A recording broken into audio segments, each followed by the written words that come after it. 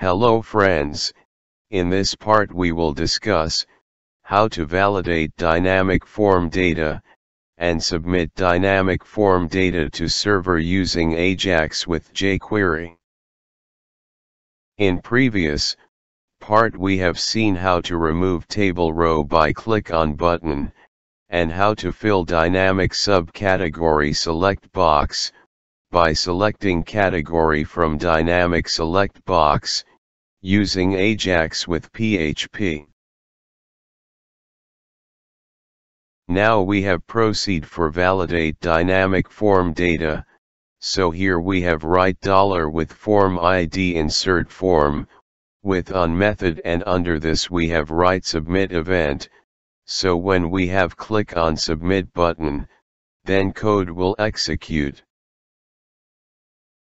Under this, First we have write event.prevent default method, this method will prevent to submit form data.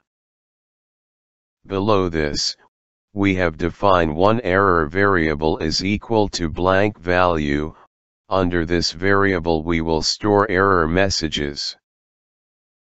First we want to validate that, all item name text box has been filled or not, so we have write dollar with text box class item name with each method, this method will check all text box with class item name. Under this, we have defined one count variable is equal to 1, we will increment value of this variable, and we will use this variable value to display error on particular row.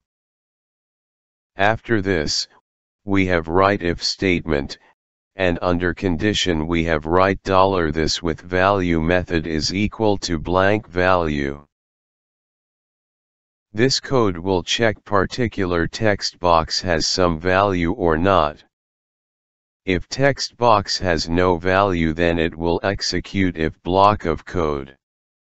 Suppose text box has no value, then it will execute if block of code, and under this we have write error variable, and in this we have append error message like enter item name at particular row, and row value get from count variable.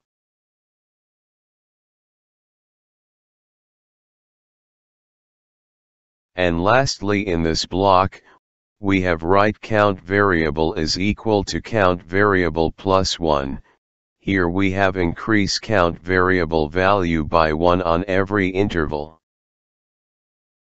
Now we want to check, user has select item category or not, so we have write dollar with select box class item category with each method, this method will check all select box with class item category. Under this, we have defined one count variable is equal to 1, we will increment value of this variable, and we will use this variable value to display error on particular row. After this we have write if statement, and under condition, we have write dollar this with value method is equal to blank value. This code will check user has select category from select box or not. If select box has blank value, then it will execute if block of code. Suppose item category select box has no value, then it will execute if block of code, and under this we have write error variable. And in this, we have append error message like enter select item category at particular row, and row value get from count variable.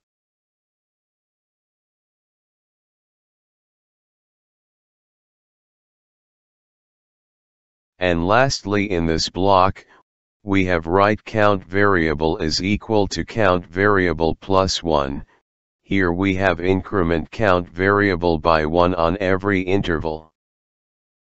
Lastly we want to check, user has select item subcategory or not, so we have write dollar with select box class item subcategory with each method, This method will check all select box with class item subcategory. Under this, we have define one count variable is equal to 1, we will increment value of this variable, and we will use this variable value to display error on particular row. After this we have write if statement, and under condition, we have write dollar $this with value method is equal to blank value. This code will check user has select subcategory from select box or not. If select box has blank value, then it will execute if block of code. Suppose item subcategory select box has no value, then it will execute if block of code, and under this we have write error variable. And in this, we have append error message like enter select item subcategory at particular row, and row value get from count variable.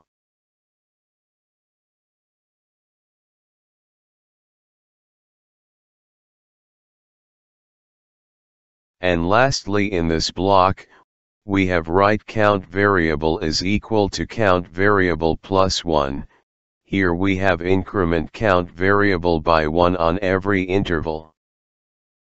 After validate form field, so now we have defined one form data variable is equal to dollar $this with serialize method, this method will convert form data into URL encoded string. Now we have write if statement, and under condition we have write error variable is equal to blank value, this condition will check if this variable has no value, then it will execute if block of code otherwise, it will execute else block of code. Suppose error variable has some value, that means there is some validation error, we want stop to submit form, and display error message, so for display error message here we have defined one span tag with attribute id is equal to error. For display error variable value under the span tag, so we have write dollar with span tag id error with HTML method, and under this method we have write error variable value. This code will display error under the span tag ID error.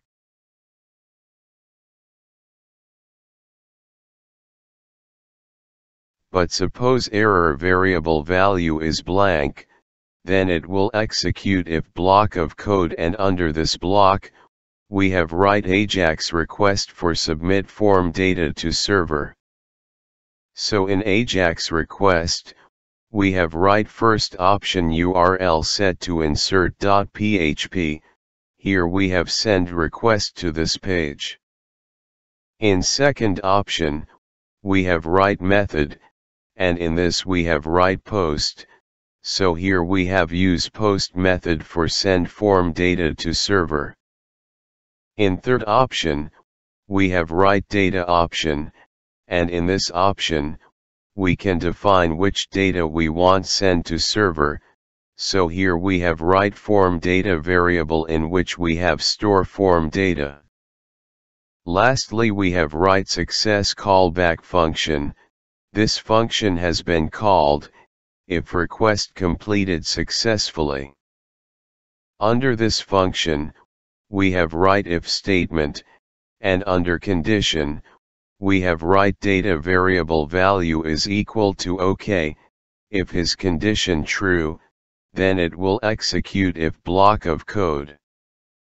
Under this block, first we want to remove all table row except table header row, so we have write dollar with table ID item table with find method. And under this we have write table row tag 0 index with remove method. This code will remove all table row from item table except table header row. Lastly for display success message, so here we have write dollar with span tag ID error with HTML method, and under this we have write item details saved method. This message will be display after successfully item details insert into table. Now we have moved to write PHP code for insert data into items table, so here we have write if statement, and under condition we have write is set function with $post item name variable. If this condition true, then it will execute if block. Under this block, first we want to make database connection, so here we have write include statement, with database connection.php file, it will make database connection. After this, we have write loop, and under condition, we have write dollar $count variable is equal to 0, dollar $count variable value less than value of count function, with dollar $post item name variable, and dollar $count variable value increment by 1. Under this loop, we have write dollar $data variable is equal to array. In first key, we have write double colon item name, with value like dollar $post item name variable with dollar $count variable index.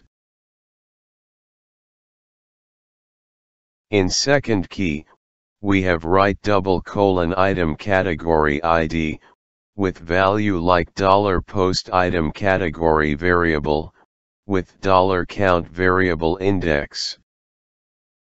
In third key, we have write double colon item subcategory ID, with value like dollar $post item subcategory variable, with count variable index. Now we have write, dollar query variable is equal to, insert into items table, with table column like item name, item category ID, item subcategory ID with values like double colon item name, double colon item category ID, double colon item subcategory ID. This insert query will insert data into table. After this, we have write dollar statement variable is equal to dollar connect variable with prepare statement and under condition we have write dollar $query variable. This statement, will make query for execution, and for query execution, we have write dollar statement variable with execute method, and under this we have write dollar data variable. Lastly, we have write echo statement, with message like OK, it will send response to Ajax request. So here our code is ready, now we have check output in browser. Friends, first we have refresh web page, and here we have already seen how can we have add dynamic input fields, and how can we remove dynamic input fields. We have also seen, how can we fill dynamic dependent subcategory select box, with data after selecting value from dynamic category select box, now we want to check how to insert multiple data, of dynamic input field using Ajax with PHP. So here we have click on add button, and one blank row has been add in table, now we have directly click on submit button without fill data in input field. After click on submit button, here on web page we can see error message. So here our validation code working properly. Now we have enter item name details. After this, we have select category from category select box, after selecting category select box, then subcategory has been filled with data, so we have select subcategory. Now we want to add one more item details, so we have click on add button, and filled item details like item name, category, and subcategory details. Now we have click on insert button. After click on insert button, we have received success message on web page, that means multiple data has been successfully insert in database. So, in this series we have seen, how to add or remove dynamic dependent select box data, and insert multiple data into table using Ajax with PHP script. If you have any query or input regarding this video tutorial, Please comment your query or input in comment box, or if you like this video tutorial please share with your friends, or even you can also share on social media also. Thanks for watching this video tutorial.